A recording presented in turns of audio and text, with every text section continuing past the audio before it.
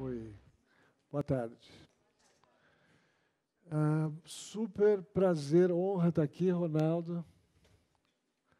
É, a gente é cliente da Rentoc, a prefeitura, todos os sites da prefeitura têm o Hugo, de, né, vestidinho de, com a roupinha da prefeitura.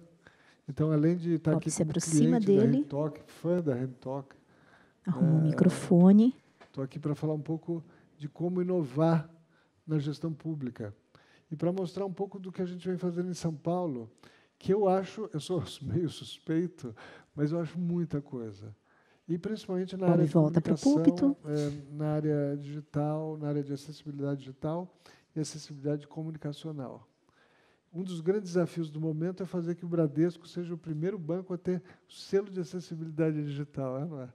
Então, estamos trabalhando para isso. Aí eu vou falar um pouco do selo já já.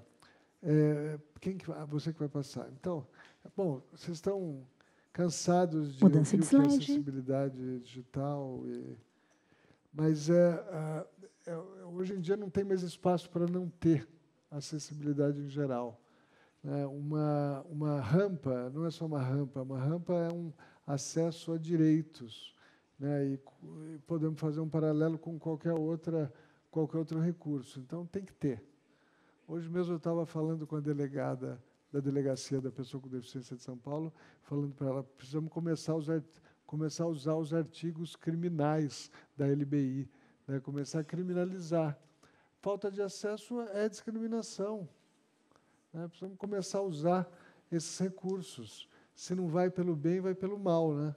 Eu falei que um dos principais projetos como secretário, O homem meio da técnica se aproxima, eu queria ter o camburão da inclusão. mexe no headset. É, inclusão ainda que a força. Né? Então, mas um caminho é isso, começar a criminalizar, usar. A, a gente está usando pouco os artigos né, de, de lei civil da, da LBI, mas vamos começar a criminalizar. Vamos lá, eu como não quero ir preso, a gente está fazendo nossa lição de casa na prefeitura. Há três Cenários ícones. que eu não vou insistir, porque vocês estão mais do que... Pode ir próximo, por favor. Né, de saber essas Quatro coisas ícones, já meio de acesso à internet. né, e mais para dizer o quão importante para todo mundo é o mundo digital. Notebooks, Imagina para as notebooks pessoas e com computadores, deficiência. 43%. Eu sempre digo, né, quando eu tenho principalmente a oportunidade de falar com jovens, crianças com deficiência, Dispositivos celulares, seguinte, 52%. é, Dispositivos tablets, são iguais para 4 e outros, Você tem exatamente os 0,14. mesmos direitos do que o seu coleguinha sem deficiência, mas você vai ter que jambrar muito mais para conseguir as coisas que ele vai conseguir, pelo menos atualmente. Então, é, quer dizer, é reforçar isso, é reforçar a importância das coisas e a importância que certas né, questões como a internet, né, os sites, os aplicativos, têm na vida de todo mundo, em especial na vida das pessoas com deficiência. Vamos lá. Desenho do mapa do Brasil. sido, Na parte é, central, ou ícones seja, de pessoas com deficiência e à direita o gráfico. um grande aliado nosso que para da gente que tem que planejar principalmente política pública, mas não ajuda as empresas também. Qual é a população com deficiência do Brasil? Quem, essa é uma pergunta de um milhão de dólares. Até porque se depois você ganha um milhão, você não quer nem saber a resposta de fato. Né? É, mas o, em, em 2010, depois do censo, o último censo, o BGE veio, vocês devem lembrar, e, fala, e falou, né, a população com deficiência, o, o fio está muito na minha cabeça. Isso. O técnico se aproxima, ajeita o headset na cabeça de Cid Torquato. Melhorou. Opa, que é isso? A população com deficiência no Brasil é, é ou seja, 24% da população. Vocês já não viram isso? 45 milhões de pessoas? O ano passado eles vieram e falaram: opa, não é bem assim. É, calcular a população com deficiência é super complicado. Então não, é, não são 24, são 6,7. Olha que super diferença. Como é que, que a gente faz nesse cenário? E, e o censo de 2020 não vai melhorar muito esse quadro.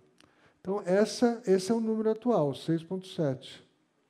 Então, ele passaria, pularia para 15 milhões de pessoas, que eu acho que é mais. E, mas não é a realidade. Eu, eu diria que é mais por volta de 10%. Eu não vou, nem vou contar a barbeiragem é, que, os, que o BGE faz né, no questionário, mas ela é muito óbvia. Né? Então, não vai, não vai se corrigir agora. A gente, prefeito de São Paulo, trabalha mais ou menos com a ideia de 10%, que é a média mundial. Embora esse número de 6,7% possa ser elucidativo no seguinte sentido: talvez essa, esse é o nosso público principal, são as pessoas que sentem é, né, as limitações da deficiência. Tem muita gente que tem deficiências leves e não, que não são grandes impeditivos. Então, esse é o número que a gente tem. São Paulo, mais ou menos 810 milhões, a gente acha que é mais. Na lateral esquerda, gráfico. De, de 1,2 Ao centro, milhão. os mesmos ícones com números diferenciados. É, pessoas, vamos... E à direita, o mapa de São Paulo. E, né, de novo, a história por que, por que ser acessível. a gente está falando um pouco de legislação, mas principalmente hoje não tem como, é, até por uma questão de sustentabilidade do sistema. Nós estamos no meio do debate do, da mudança da, das regras da Previdência. Não dá para levar nas costas contingentes tão grandes de pessoas. Então, a gente tem que rever as nossas políticas, ainda são tímidas no Brasil, eu acho, em, na, no, na questão de realmente incluir a pessoa com deficiência em termos de trabalho, renda, mas isso tem que começar lá na escola. Então, é, mas não dá mais para levar tanta gente nas costas. A gente tem que é, captar, explorar, é, usar é, o que essas pessoas têm de melhor. Eu hoje de manhã fui numa discussão sobre longevidade e a mesma discussão está acontecendo com relação a, a né, aos longevos. Aos, né, não dá para ter tanta gente apta não produzindo. Ah, então, é uma questão de sustentabilidade do nosso sistema. Vamos lá. Essas da prefeitura. Na área de acessibilidade comunicacional e digital. Logos, a Central de Interpretação de Libras. Tema, até porque o tempo é limitado. Nós temos essas ações na Secretaria. Logos, uh, audiodescrição. Eh, instrumentais. E closed né? caption. Isso serve para uma opção de coisas. Logodor Camaiai. recursos. Mas esses são basicamente, quando a gente fala de acessibilidade comunicacional, a gente fala dessas ações. Logo da novo, Intoc. Que são levadas a, e da CPA. Volta, por favor. Que são levadas a várias frentes. Né? A CIL, que é a Central de, de Intermediação em Libras, que é um sistema. É, eu vou chegar, acho que tem um slide específico que eu falo depois. É, o Rentalk, que tem crescido muito uh, o uso, e agora a gente vai ter em, em 100% dos sites da prefeitura, faltavam alguns, a gente vai ter isso agora.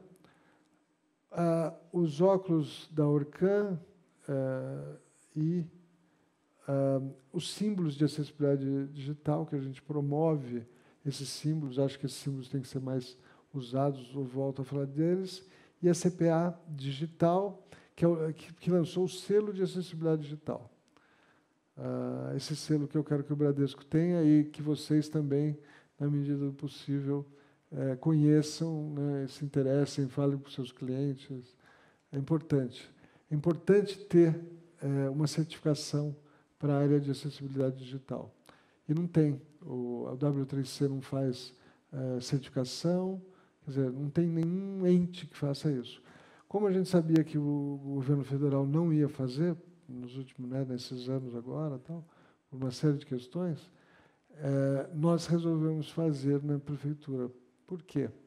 Desde 96, a prefeitura de São Paulo tem um negócio chamado CPA, que é a Comissão Permanente de Acessibilidade. São os grandes guardiões da acessibilidade na cidade de São Paulo. Foi o primeiro órgão do executivo a lidar com a questão da acessibilidade em todas as frentes e por tabela dos direitos das pessoas com deficiência. E ela que inspirou a criação da nossa secretaria, que foi a primeira no Brasil, e outras tantas. Então, ela tinha, ela já emitia, emite um selo de acessibilidade arquitetônica e a gente achou que seria uma grande contribuição para esse universo digital aqui no Brasil a gente lançar, a gente ter uma certificação de sites. Vamos, próximo. Então, é, a CIL, CIL é um Central de Interpretação de Libras. De Libras, é. é Na Libras direita, foto de um monitor e de um celular. Você, por, por, por em, desktops né, nos locais, ou principalmente, que é, o, que é o nosso grande objetivo, pelo aplicativo no, no celular, você vai em qualquer uh, balcão da gestão municipal, sendo surdo, e é atendido em Libras por videoconferência com esse aplicativo. Então, não tem segredo, aparece o, um intérprete do outro lado da, do, da, da tela e faz a intermediação do atendimento. Eu digo disso de bilhete único especial na SPTrans ao ginecologista. Ele tem que servir para todos os serviços da prefeitura. Uh, e agora, no, daqui a um mês, a gente está lançando a navegação patrocinada, porque para o município pobre, 100 mega, que é o custo médio, o peso médio de uma ligação, de uma chamada dessa, no, no, no pacote de dados do celular é, é, é, grana.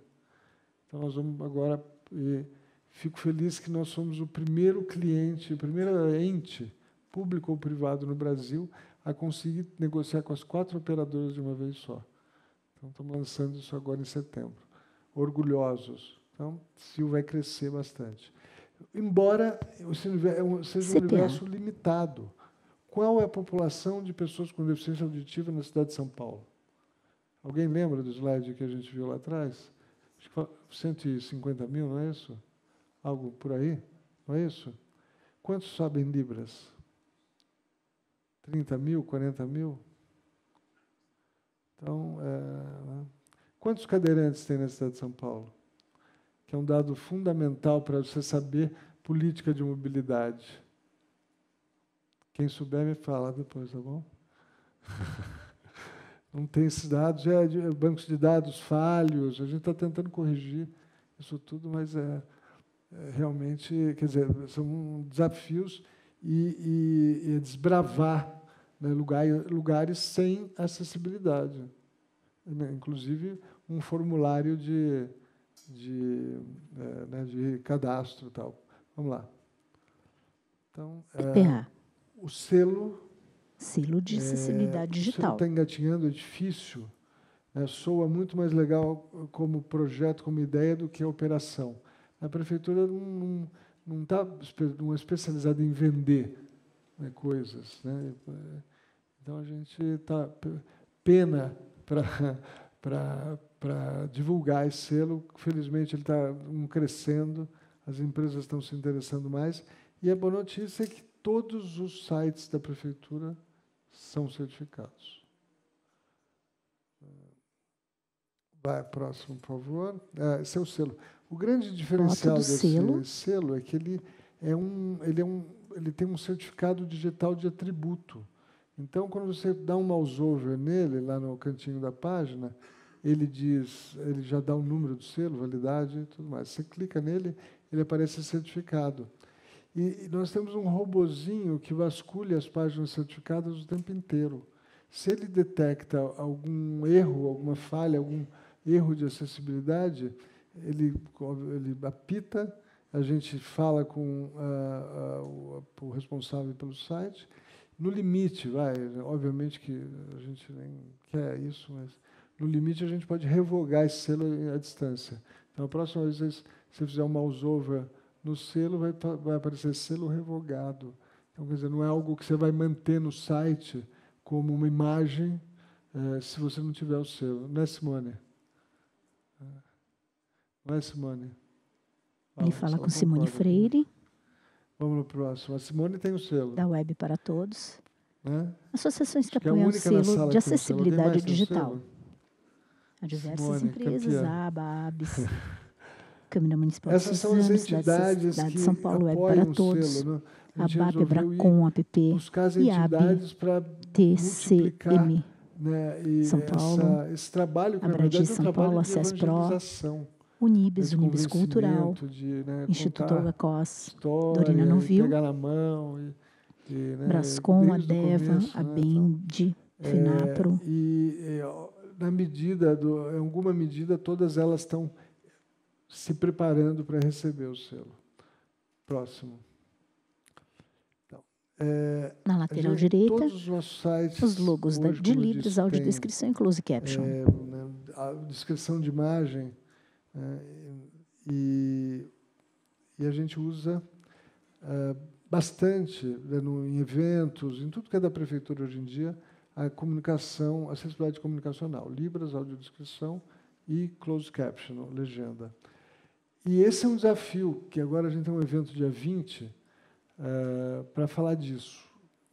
No, hoje, se eu sou cego, eu quero é o teatro, hoje à noite. Eu quero saber que peça está passando em São Paulo com audiodescrição. Eu tenho que visitar provavelmente uns 20 sites para ter uma ideia do que está acontecendo. Os guias culturais não trabalham com esses símbolos. Olha que coisa fácil, não é? Pegar o guia da Virgem, da Virginha e só colocar o simbolinho do lado de cada espetáculo, se tiver o recurso. Não é simples. Bom, não é simples. Estamos batalhando Vamos ver se agora, depois desse workshop que vai ter dia 20, é, eles conseguem colocar Virgínia, divirta-se, Folha. Isso é um avanço, tremendo avanço. Ah, e a gente vai estar lançando no dia também um festival para feito por artistas com deficiência para o mês de setembro. Vamos estar divulgando a programação no dia 20 começa dia 17 de setembro, no circuito cultural da cidade, do, do município, do, do, da prefeitura, e também em entidades parceiras, aqui da Paulista, o Paulista Cultural e outras pela cidade. Vai ser o primeiro festival aqui no Brasil, não é bem o, o, como a, não é uma virada cultural, né? é um festival mesmo reunindo todas as entidades, só com artistas com deficiência. A gente é inclusivo, mas no caso específico, tem que chamar atenção especificamente para, os artistas com deficiência, que são uma realidade e não, acabam não tendo oportunidades por falta de conhecimento, de quebra de preconceito, de paradigma e tudo mais. Vamos lá. A gente usa para cego ver também, hashtag para cego ver em tudo. Rentalk. A gente está fazendo um ano de experiência pouquinho mais, né, Ronaldo? Teve um teste antes, sucesso. Né? E agora o que a gente. É, é, é a gente usa os estudos para falar com as áreas específicas, que são as áreas mais demandadas, e a área mais demandada da prefeitura é a fazenda pública municipal, né? e é, para que é, tanto o site, o texto do site, esteja mais de fácil leitura, né? como preparar né, o, próprio tradutor, né, o próprio para a terminologia específica desses sites. Né? Então, imagina fazenda, justiça, educação. Legal. Obrigado pela parceria. Né? Vamos lá. E nós uh, está, agora temos em todas as bibliotecas públicas da cidade, são 54, se não me engano, e agora estão indo para os SERs também. Esses óculos, não sei se vocês conhecem, é, são bem legais, é, são bem, é, super bem avaliados pela, pela comunidade com deficiência visual. Tem fila nas bibliotecas para usar. Então você, é você tem um, você lê, né, mas com auxílio da voz, mas numa experiência é muito parecida com a leitura convencional, ou seja, você segura o livro, então você não depende do livro digital. É, então é um, é um, você pega qualquer papel em três idiomas e, e o sistema lê para você. É pequeno, é muito fácil de usar, tem sido, foi uma boa aquisição. Vamos para o próximo. É, eu só pus isso porque essa é a, são esses elementos, esses recursos essa vontade de fazer, né? essa, essa, essa, maneira de ver o mundo que vão fazer é, um desses quadrinhos acontecerem ou não. É, são, são essa, é por aí, né, usando esses recursos que a gente vai conseguir chegar no último deles, que é da inclusão. Eu acho que é o último isso. Ah, é. Bom, aquelas frases de último slide, né, conheci, conhecidas frases de último slide. E é isso. Muito obrigado. Acho que é o último, né? Vamos lá. É isso.